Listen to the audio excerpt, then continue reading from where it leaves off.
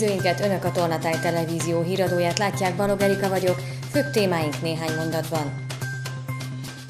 Érettségi, az iskolák felkészültek a biztonságos lebonyolításra. Belső ellenőrzés indul, az új vezető intézkedéseit is vizsgálja a Szexádi Sportközpont felügyelőbizottsága. Sokakat zavar a gázágyús vadriasztó, kurdon megoldották, de csend nem sikerült. Elmaradnak vagy csúsznak a bátai nagy rendezvények, komoly károkat okoz a vírus a Tolna megyei falunak. A középiskolákban felkészültek a hétfőn kezdődő érettségi vizsgák biztonságos lebonyolítására. Az intézményekben úgy rendezték be a vizsgahelyszíneket, hogy elkerüljék a fertőzés veszélyét. Magyarországon minden középiskolában hétfőn reggel 9 órakor a magyar tételek felbontásával kezdődnek az érettségi vizsgák, idén csak írásban kell számot adni tudásukról a végzősöknek. A törvény előírásainak megfelelően rendezték be a Tolnai Gimnáziumban azt a kilenc osztálytermet, ahol az írásbeli érettségig zajlanak majd. A vizsgázó két osztály tanulóit külön bejáraton engedik majd be az intézménybe. 6-7 főnél többen nem lesznek, akinek pedig esetleg olyan, a, a, olyan betegsége van, vagy olyan azt kéri, az külön fog egy teremben ülni, és úgy vizsgázhat a többiektől elkülönítve, természetesen felügyelő tanárral. A második Géza gimnáziumban Bátaszéken a város vezetése által kapott szájmaszkokban érettségizhetnek majd a gyerekek. Simegi József igazgató azt mondta, minden előkészítés és fertőtlenítés megtörtént, annak érdekében, hogy biztonságos körülmények között folyhasson az érettségi.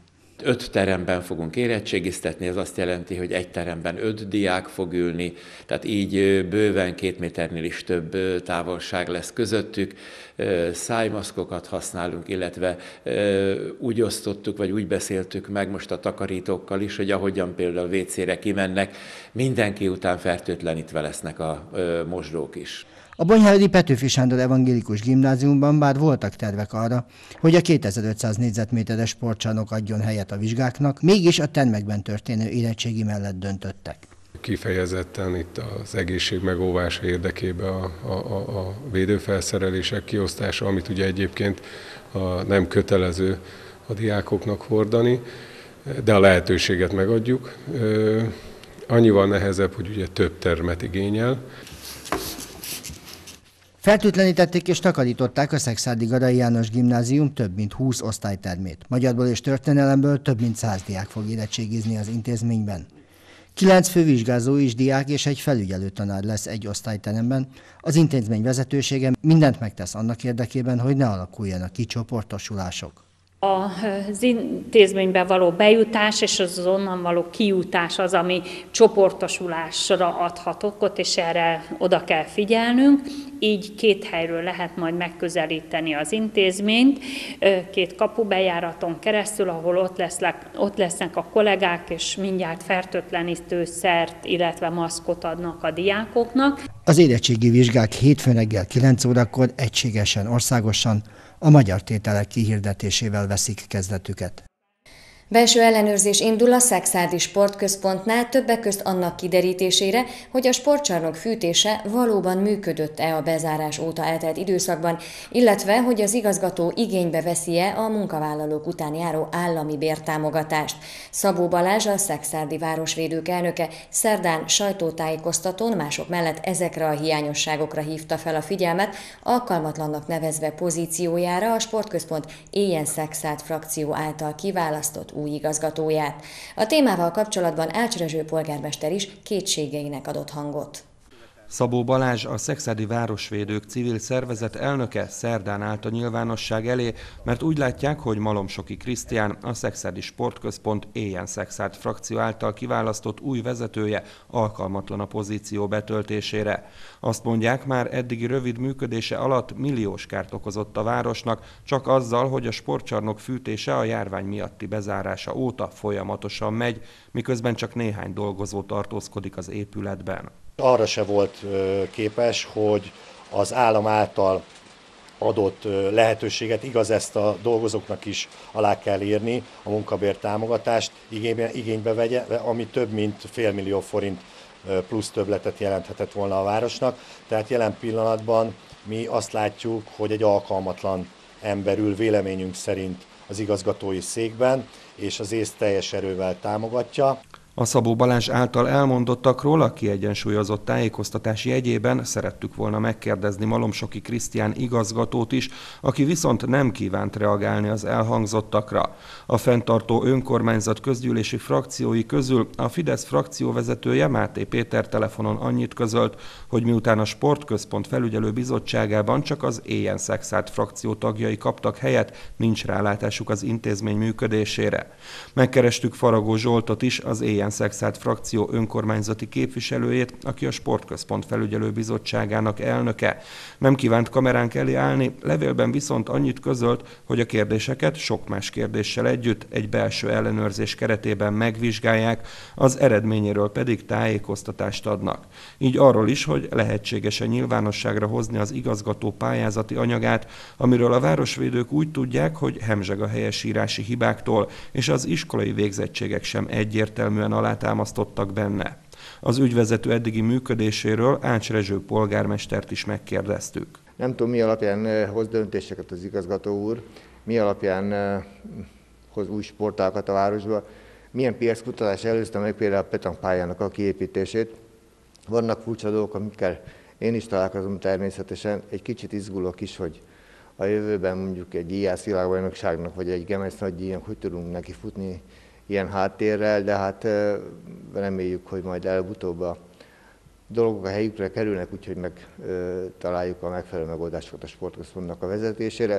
Ács Rezső hangsúlyozta azt is, hogy korábban mindig nyílt ülésen történt meg a cégvezetők kiválasztása, most az EN Szexád frakció döntése alapján zárt ülésen tárgyaltak a vezetőkről, így az ott elhangzottakról nem mondhat részleteket, azt viszont elárulta, hogy voltak olyan pályázók is, akik környékbeliek és alkalmasak lehettek volna a sportközpont vezetésére.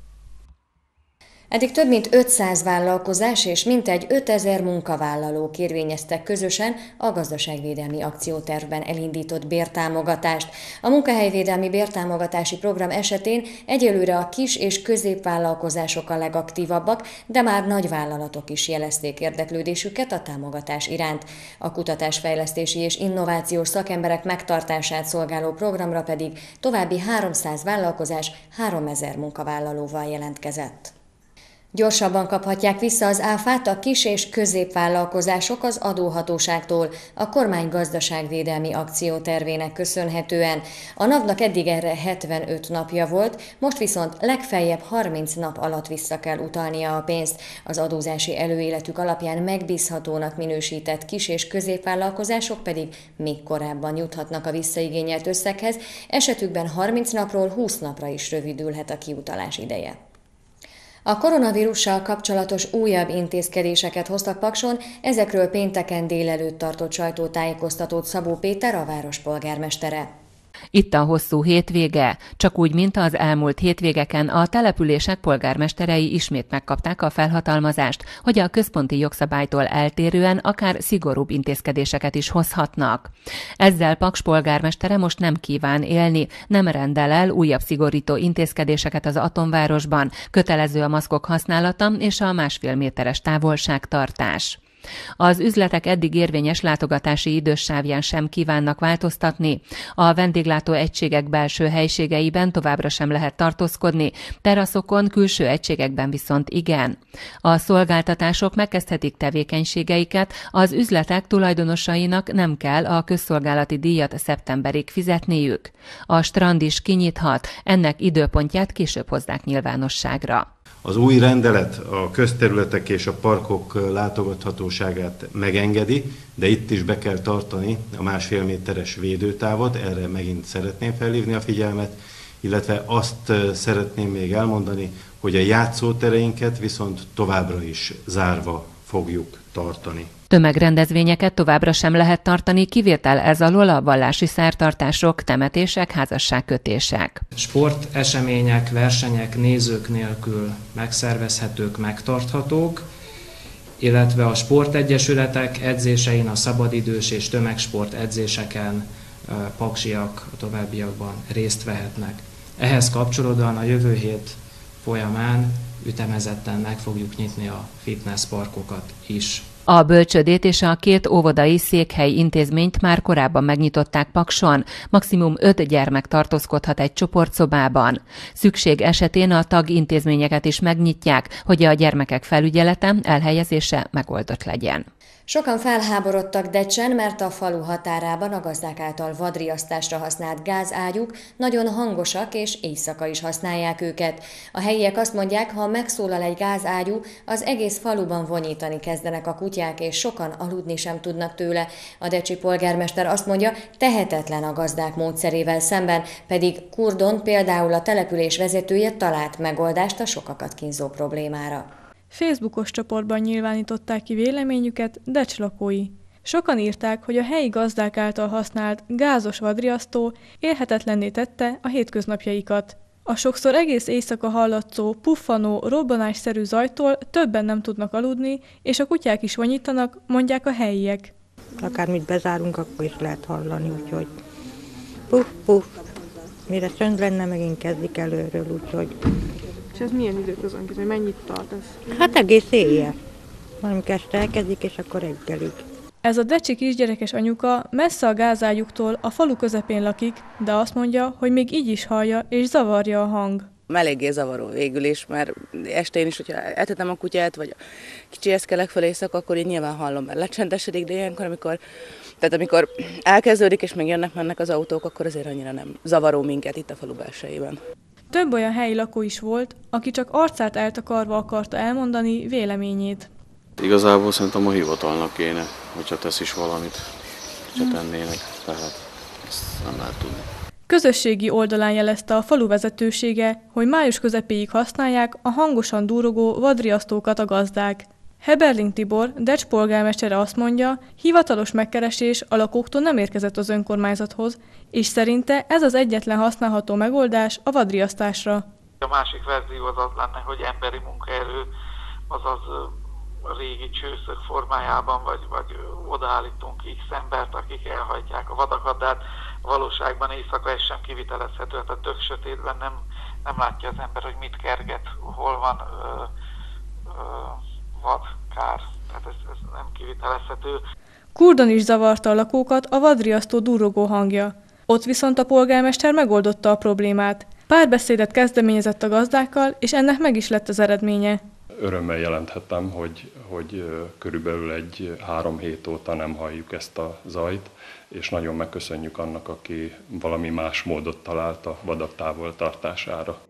Az Országos Magyar Vadászkamara Tolna megyei titkára azt mondja, a gázágyus módszer mellett más lehetőség is van a vadak elriasztására.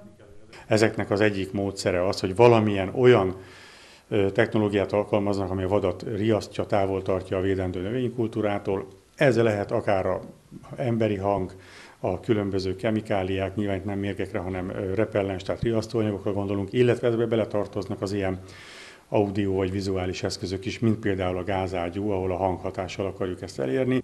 Vannak gazdák, akik az ultrahangos, hangtalan vadriasztót használják. Egy ilyen gép ára 20-30 ezer forint. Szakértők szerint sokkal hatékonyabb, mint a 100-150 ezer forint között megvásárolható gázágyú. Nem csak az 500 főnél nagyobb rendezvényeket tilos megtartani augusztus 15-ig, hanem az ennél kisebbeket is. Csütörtökön délelőtt Gulyás Gergely miniszterelnökséget vezető miniszter azt mondta, hogy augusztus közepéig csak az 500 főnél nagyobb rendezvényeket nem lehet megtartani, később viszont a kormány szóvivő ezt pontosította, és kijelentette, hogy augusztus 15-ig egyáltalán nem lehet tömegrendezvényeket tartani, és a korlátozás nem csak Budapestre, hanem az egész országra vonatkozik. Elmaradnak vagy csúsznak Báta idei nagy rendezvényei a koronavírus miatt, pedig a Magyarországon megrendezett 52. Nemzetközi Eukarisztikus Kongresszus egyetlen vidéki helyszíne a Tolna megyei falu lett volna.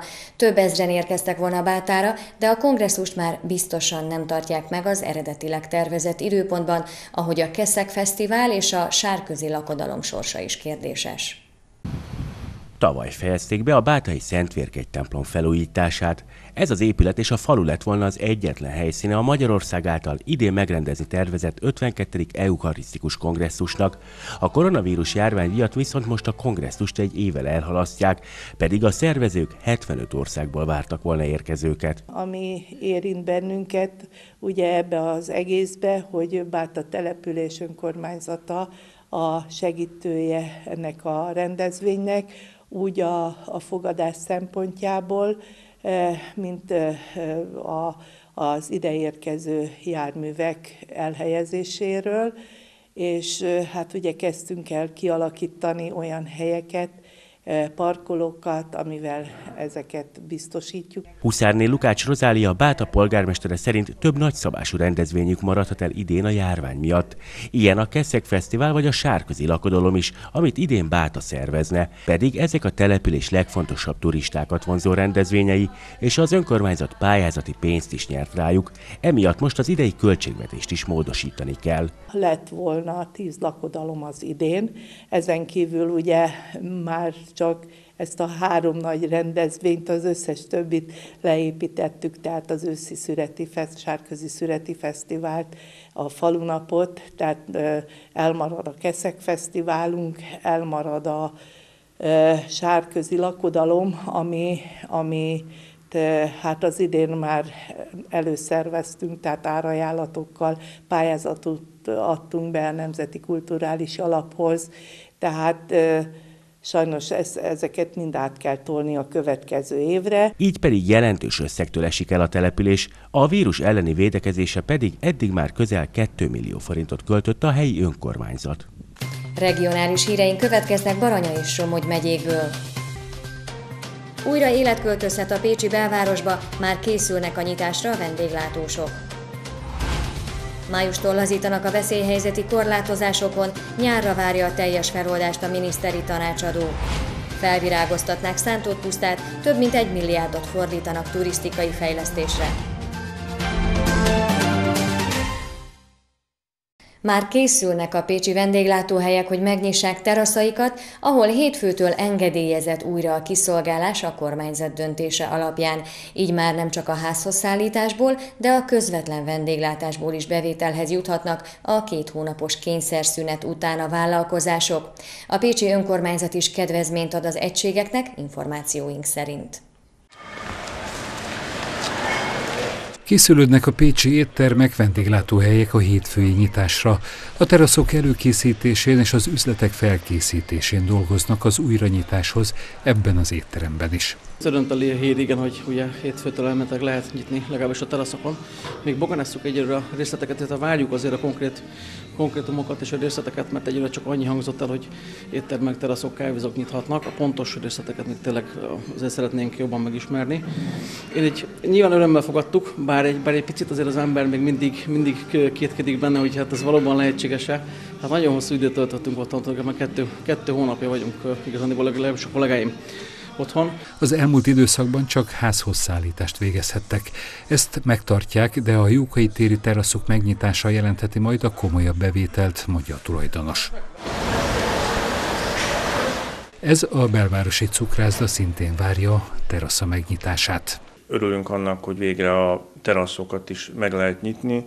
Hát majd meglátjuk, hogy ugye ez a távolságtartás, vagy a másfél-két méter betartása Zsával így hogyan tudunk működni. Ez is egy visszafogott működés lesz még, mivel kevés vendéget tudunk egyszerre leültetni, de hát elindul, akár itt a Jókai cukrászdában is, már nagyon várják. Szerda este jelentette be a miniszterelnök, hogy a vidéki városokban újra nyithatnak az éttermek, kávézók, teraszai, szabadtéri részei. Azonban a másfél méteres távolságtartást be kell tartani a vendégek között. A jogszabály még nem jelent meg, így a pontos feltételekről még nem tudnak a vendéglátósok. Információink szerint a Pécsi önkormányzat is kedvez az előteraszos egységeknek. Várhatóan bérleti díjkedvezményt kapnak, de a részletek még itt sem ismertek. Folyamatos lazítások jöhetnek, nem kell olyan tömeges kórházi ellátási feladatokat megoldani itthon, mint Nyugat-Európában, véli a miniszteri tanácsadó. Kollár Lajos professzor szerint szükség volt a kapacitások kiépítésére, de ezek lassan visszavezethetők lesznek a normális napi ellátásba. A számok alapján valóban május elején tetőzik a járvány a szakember szerint. Kollár doktor abban bízik, hogy nyárra már feloldhatják a legtöbb megkötést hazánkban. A legrosszabb forgatókönyvre készült a kormány, ezért kellett 34 ezer kórházi ágyat felszabadítani a koronavírus járvány miatt, mondta Kollár Lajos professzor, miniszteri tanácsadó. Azonban a számok alapján látszik, hogy nem lesz ekkora mértékű a kórházi kezelésre szorulók száma, mint például Olaszországban. Ezért mert az ágyak visszavezetésén dolgozik az egészségügyi kormányzat. Várhatóan először 6 ezer, vagy utána 9 ezer, és majd meglátjuk, hogy, hogy milyen ütemben lehet lazítani a megszorító intézkedéseket. Tehát én azt gondolom, hogy persze az egészség kormányzat is tudta, hogy nagy valószínűséggel nem lesz erre szükség, de a legrosszabb változatokra készültünk. Koller professzor szerint valóban most május elején tetőzhet a járvány. Ezután jöhetnek a lazítások, így akár már nyáron teljesen visszaállhat a napi élet a normális kerékvágásába. Én nagyon remélem, hogy június közepére már el tudunk oda jutni, ahol véglegesen fel tudjuk oldani a korlátozásokat. Ezért most első körben az egészségi korlátozásokról beszélek, nyilvánvalóan ennek a rendészeti változata is majd megfelelő ütemben ebben szinkronban szóba fognak jönni, én azt gondolom, hogy legutolsó az ártérben lévő nagy rendezvények, amik utoljára kerülnek feloldásra. Kollár Lajos professzor a Magyar Vitorlás Szövetség elnöke is, ezért abban bízik, hogy július végén már megtarthatják a kék szalag vitorlás versenyt, a korlátozások fokozatos leépítése után. Beomló tetők, üres istálók és kiállítóhelyek szebb időket is látott már a Balaton melletti Szántót puszta, amely leromlott állapota miatt nem látogatható. Hosszú évek előkészítő munkája után 1,2 milliárd forintos pályázati támogatásból megkezdődhet a majorság felújítása. A Tihanyi alapító levél is említi a szántott pusztai majorságot, amely évszázadok óta lakott helynek számított. Egykoron a Tihanyi Bencés apátság tulajdonában állt a környező erdőkkel és mezőgazdasági területekkel együtt. A második világháborút követően a TS időkben az épületek állapota nagyon leromlott. A termelőszövetkezet a 70-es években kiköltözött, és megkezdődhettek a felújítások. Azonban most arra annyira leromlott az épületek állapota, hogy már nem látogatható a puszta. Hamarosan viszont elindulhat szántott puszta fejlesztése.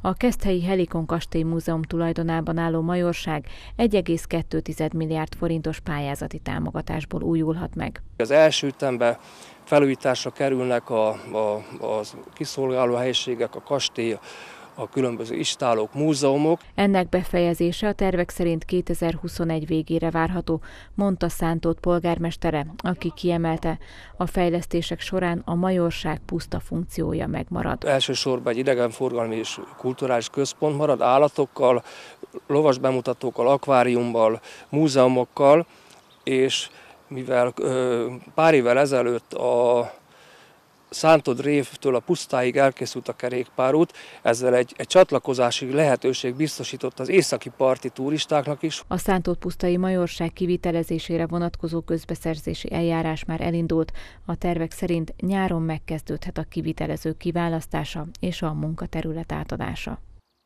Végül mutatjuk újra röviden Tolna megye legfontosabb híreit. Érettségi, az iskolák felkészültek a biztonságos lebonyolításra. Belső ellenőrzés indul, az új vezető intézkedéseit is vizsgálja a Szexádi Sportközpont felügyelőbizottsága. Sokakat zavar a gázágyús vadriasztó, kurdon megoldották, de csend nem sikerült. Elmaradnak vagy csúsznak a bátai nagy rendezvények, komoly károkat okoz a vírus a Tolna megyei falunak. Szombaton is marad a változékony időjárás, de kicsi a valószínűsége számottevő esőnek. Változóan napos felhős, többször erősebben felhős idő a valószínűbb. Vasárnapra szeles idő ígérkezik, záporszorványos csapadék elsősorban délelőtt valószínű, délután nyugat felől kitisztul az ég. Friss hírekkel legközelebb hétfőn este jelentkezünk, addig is kövessék műsorainkat, illetve keressenek minket a Facebookon, ahol naponta friss hírekkel, érdekességekkel várjuk Önöket. Ha látnak valamit, ami Önök szerint érdekes, akkor azt osszák meg velünk, hogy másoknak is megmutathassuk. Mára köszönöm figyelmüket, viszontlátásra!